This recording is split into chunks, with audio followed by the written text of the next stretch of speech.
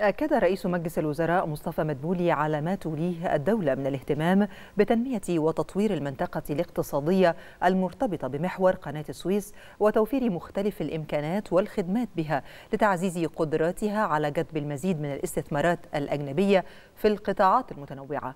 جاء ذلك خلال جولة تفقدية موسعة أجرها في عدد من المشروعات بمنطقة السخنة الصناعية الواقعة ضمن نطاق المنطقة الاقتصادية لقناة السويس.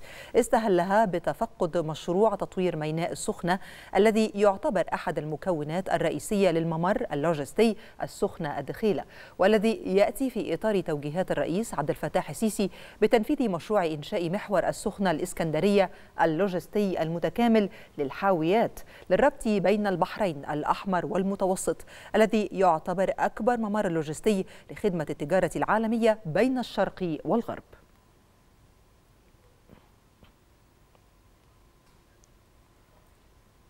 وخلال جولته بمنطقة السخنة تفقد رئيس مجلس الوزراء أعمال تطوير ورفع كفاءة طريق السويس السخنة بطول 60 كيلومتر.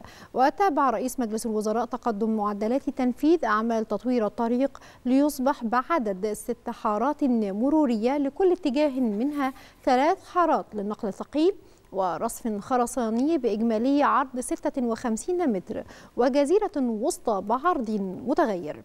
ويعد طريق السويس السخنة محورا مهما يربط بين العديد من مناطق التنمية على رأسها موانئ السخنة والأدبية والمنطقة الاقتصادية لقناة السويس كما يستهدف تحسين مستوى الخدمة والأمان على الطريق بزيادة عرض الطريق وحاراته وفصل مسارات الشاحنات عن السيارات.